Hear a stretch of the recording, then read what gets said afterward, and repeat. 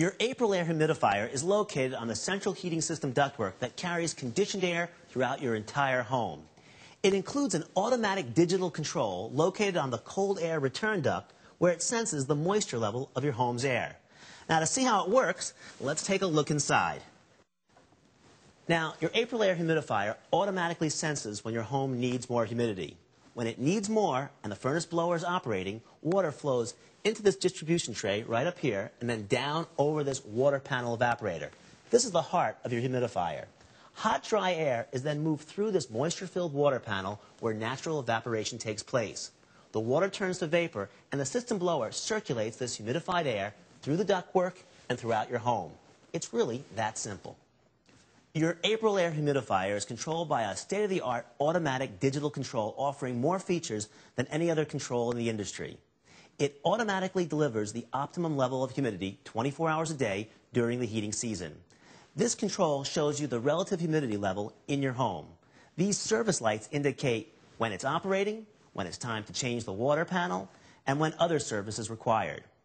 Your control panel operates in either the automatic or manual mode.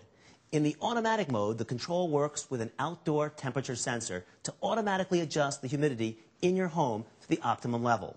During the first heating season, it needs to be set initially to match your home's condition. To do this, first turn the dial setting knob to the 5 setting, which is the normal range.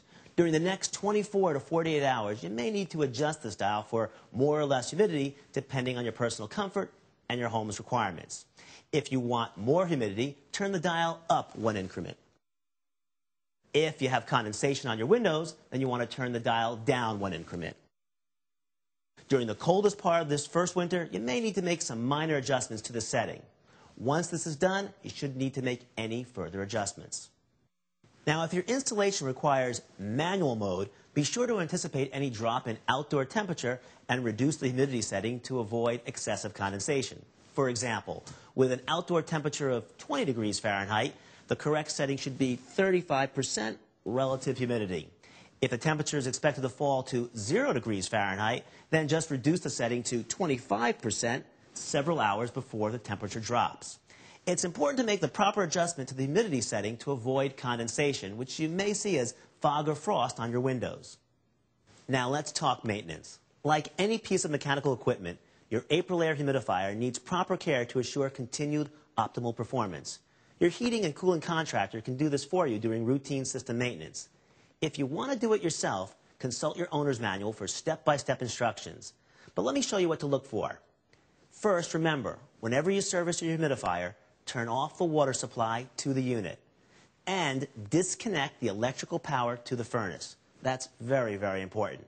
Now, once a year, usually before the heating season, you should check the water line. That's made up of this feed tube right up here, this water strainer right here, which goes into this area right here, this orifice or opening, which looks like this and is right over here, and this drain line right here. The strainer and drain hose need to be flushed and cleared of any blockages. Inspect the water feed tube by gently flexing it and looking for any signs of cracks or signs of wear. Replace the tube if it's cracked, brittled, or damaged. Consult your owner's manual for step-by-step -step instructions or call your installing contractor for help. Now for the water panel, you'll notice that this metal mesh has a special white coating all over it. That's normal.